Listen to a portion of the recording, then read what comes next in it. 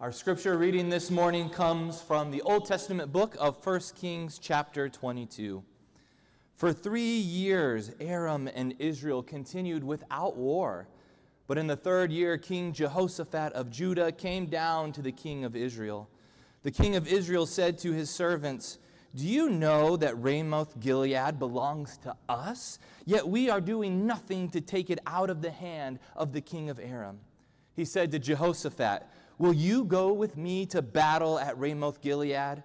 Jehoshaphat replied to the king of Israel, I am as you are. My people are your people. My horses are your horses. But Jehoshaphat also said to the king of Israel, Inquire first for the word of the Lord. Then the king of Israel gathered the prophets together, about 400 of them, and said to them, Shall I go to battle against Ramoth Gilead, or shall I refrain? They said, Go up, for the Lord will give it into the hand of the king. But Jehoshaphat said, Is there no other prophet of the Lord here of whom we may inquire? The king of Israel said to Jehoshaphat, There is still one other by whom we may inquire of the Lord, Micaiah, son of Imlah, but I hate him, for he never prophesies anything favorable about me, but only disaster. Jehoshaphat said, let the king not say such a thing. Then the king of Israel summoned an officer and said, Bring quickly Micaiah, son of Imlah. Now the king of Israel and King Jehoshaphat of Judah were sitting on their thrones, arrayed in their robes, at the threshing floor at the entrance of the gate of Samaria, and all the prophets were prophesying before them. Zedekiah, son of Chenaanah, made for himself horns of iron, and he said, Thus says the Lord, with these you shall gore the Arameans until they are destroyed. All the prophets were prophesying the same and saying, Go up to Ramoth Gilead and triumph. The Lord will give it into the hands of the king. The messenger who had gone to summon Micaiah said to him, Look, the words of the prophets are with one accord and are favorable to the king. Let your word be like the word of one of them and speak favorably.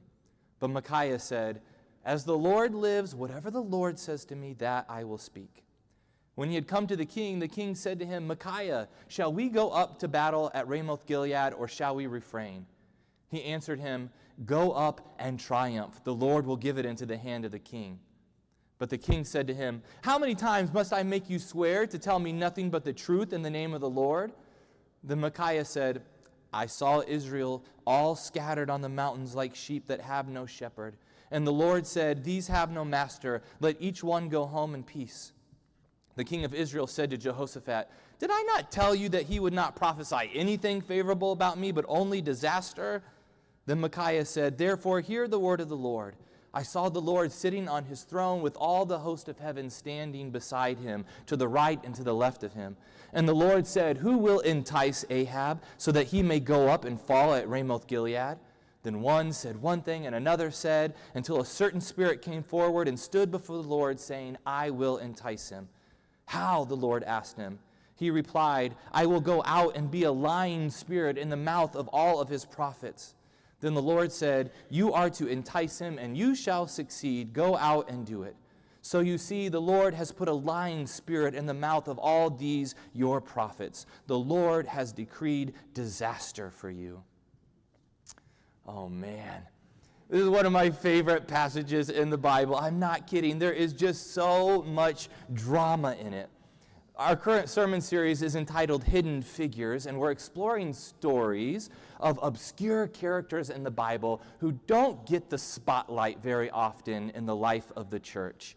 And so today's focus is on a man by the name of Micaiah, who's referenced in only two short moments in these books of history in the Bible. Now, honestly, though, we could have done a hidden figure sermon on almost any of the minor prophets in the Bible who have books named after them. These are people like Hosea, Amos, Obadiah, Micah, Nahum, Habakkuk, Zephaniah, Haggai, Zechariah, Malachi. Even though their names are on the table of contents in the Bible, I am sure that none of us have them memorized, let alone know very much about these prophets. But the Bible is even full of so many other prophets who don't have the honor of having a book named after them. Prophets of both genders, actually. Moses' sister Miriam, for example, is called a prophet, and it says that the Lord speaks through her. The judge Deborah receives the designation in the Old Testament of being a prophet, as do other women such as Huldah and Noadiah. And then in the New Testament, we're told that there's a man named Philip, and he has four daughters who all prophesy. So, from the very beginning, being a prophet was not just a man's game, but regardless of the gender of the prophet, so many of them have been relegated to obscurity. So, to help us remember some of these prophets, I thought we might compare them to famous TV shows. The prophet Isaiah, for example, might be Doctor Who. Because just as different actors have played Doctor Who throughout history and it's still the same TV show, the book of Isaiah was actually written over hundreds of years by different authors and it's still the same book. Or maybe it's Law and Order or Grey's Anatomy because at 66 chapters the book just goes on and on and never ends. Ezekiel tells the story of a graveyard where bones come back to life. So that one is definitely The Walking Dead. Hosea has some super racy elements, so we're talking Game of Thrones or Euphoria. Amos is all about social justice, and so it's like watching a really powerful documentary like Ava DuVernay's 13th or An Inconvenient Truth. Haggai is like C SPAN. You sound really smart if you say you watch it, but no one actually does. We could go on and on here. It doesn't matter what your favorite TV show might be. It could be MASH or Brady Bunch or Breaking Bad or Atlanta. There is a prophet for you. But Micaiah, well, Micaiah is all of the trashy reality TV that we know and love. Keeping up with the Kardashians, Real Housewives, The Bachelor. Micaiah is all about the drama.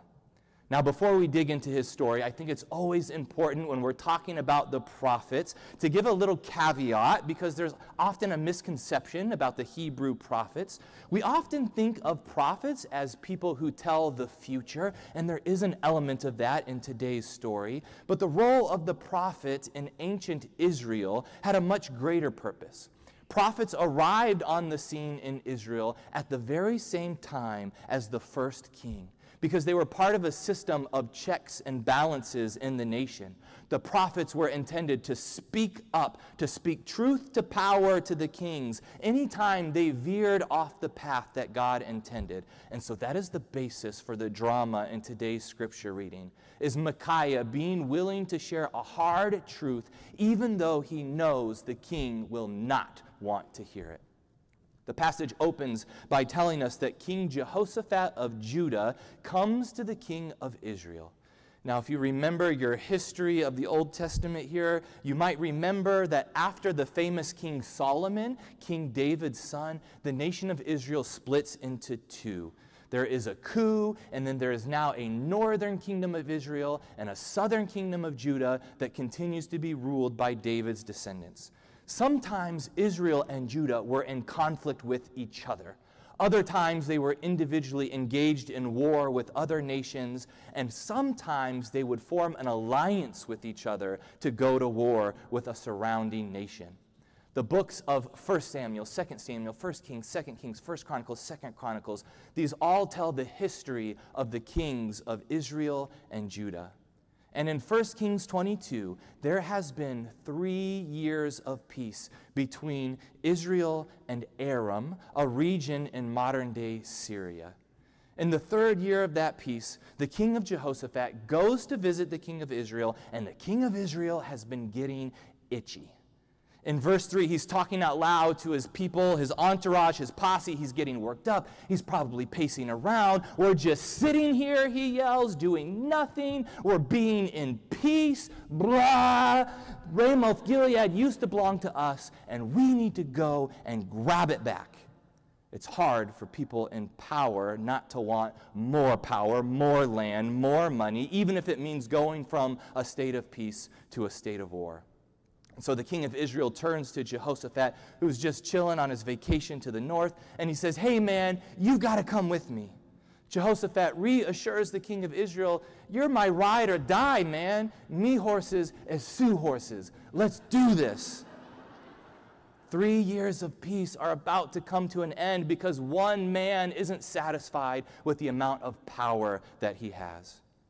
When you read through the historical books, you find that by and large, the kings of Judah are a lot more devoted to God than the kings of Israel. The Bible even tells us that Jehoshaphat, even though he's about to commit a major blunder here, usually did what was right in the eyes of the Lord. So before he enters into battle, he wants to consult with the prophet of Yahweh to see if he can hear a word from God. The king of Israel replies that that's no problem at all. He's got 400 bros over here. Uh, you might call them sycophants. You might call them yes men. That doesn't matter. That's just semantics. The king calls them his prophets. And they will tell him whatever he wants to hear. He gathers them around and he enthusiastically asks them, uh, Should we go and take Ramoth Gilead? Yes or super yes? And the prophets all reply in unison, Oh, super duper, yes. And then it gets even weirder here. It's like they're hanging out at a drunken frat party because one of them even puts on horns made of iron and he starts running around destroying stuff and he proclaims, You're going to gore the Arameans, man, just like this. It's weird. It seems like this king is ruling like he has a magic eight ball. Should I go to Ramoth Gilead? My sources say no. Ask again later. Signs point to yes. All right, let's go. The king always gets the answer he wants. But Jehoshaphat isn't quite satisfied. He informs the king of Israel, You know that none of these guys actually speaks on behalf of the Lord, right? The king of Israel wants to consult with his people, but Jehoshaphat wants to hear from someone who's connected to Yahweh. And so the king of Israel lets out a big, petulant groan. Oh, yes, there is one guy who we can ask who says he gets a word from the Lord, but I hate this guy. He's terrible. He never says anything nice about me. He always says I'm wrong. We can't talk to him. Yet Jehoshaphat insists, and so Micaiah is summoned. The messenger who goes to get Micaiah warns him Look, 400 other people have already told the king exactly what he wants to hear, and so you better say the same thing. Micaiah insists, though, I only speak the truth. Whatever God says, says to me, that's what I will say. When Micaiah arrives to the palace, the king of Israel is skeptical. He sees Micaiah and flatly states, Look, I know what you're going to say, so just say it. Should I go to Ramoth Gilead or not? Micaiah's response, though, shocks him. Just like the 400 other so called prophets, Micaiah says, Go ahead, the Lord will give it into your hands. I have no idea why Micaiah said that at first. Maybe he just wanted to poke fun at the king, pretending to say what he knew he wanted him to say. Or perhaps he got nervous about delivering a hard truth. I have to say that I totally get that. I preach all the time about speaking up when someone says something offensive, but then there are moments where I hear someone say something ridiculously awful and I'm shocked into silence thinking, oh my God, did they just say that? Should I say something? So I get that speaking up can be difficult sometimes. But the king of Israel can't believe that Micaiah would actually say something agreeable. Stop that, he retorts. Tell me what God actually said. Okay, yeah, Micaiah admits, you're screwed. Uh, if you do this, you're going to die, and people, you are going to be scattered like sheep without a shepherd. No, the, scream, the king screams in reply, I knew you would say something bad. Get out of here. It's just this hilarious scene, right? You're going to be all right. Tell me the truth. You're going to die. Get out of here. The king can't accept anyone contradicting him. But before he goes, Micaiah informs the king that the Lord already told him that God would orchestrate the king's downfall by sending a bunch of people who would lie to him and tell him only what he wanted to hear.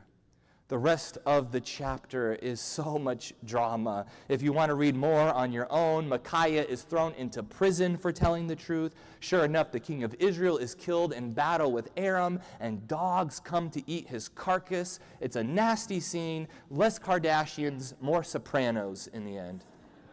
But I am amazed at Micaiah's ability here to tell the king of Israel who, although he's not named in this passage, is the infamous King Ahab, that starting this war is wrong and the results are going to be disastrous, even if 400 people are saying the opposite.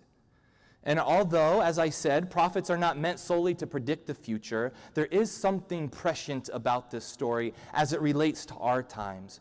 Because the passage gives the perfect example of an echo chamber thousands of years before the term will be invented.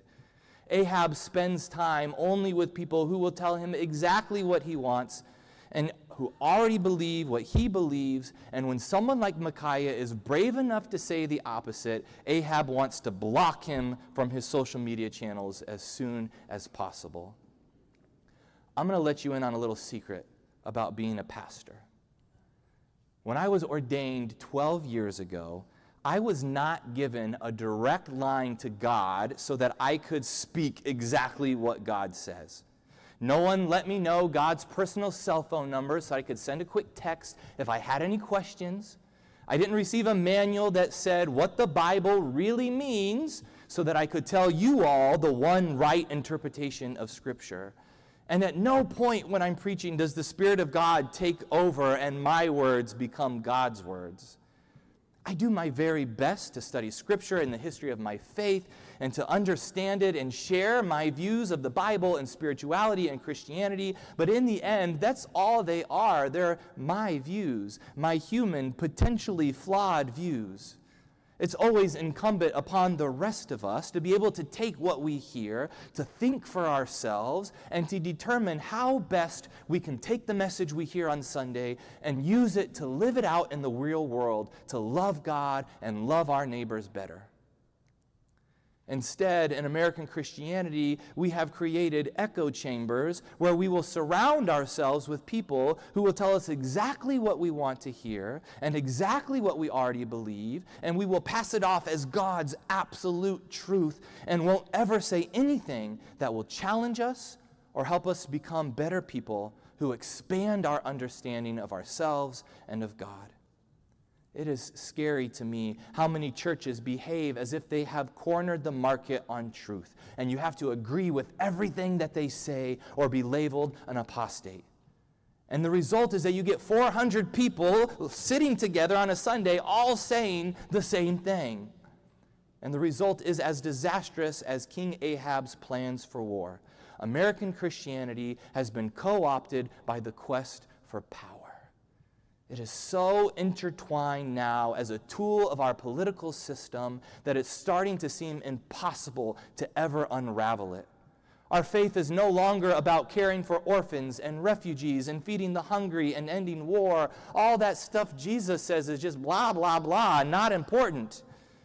Our faith is supposed to be about comforting the afflicted and afflicting the comfortable. But American Christianity does its best to comfort the comfortable and ignore the afflicted. We need people as brave as Micaiah to declare that we can do so much better as Christians than we are doing in this country. But that's not the message people want to hear. Thankfully, our faith is so much bigger than just the United States.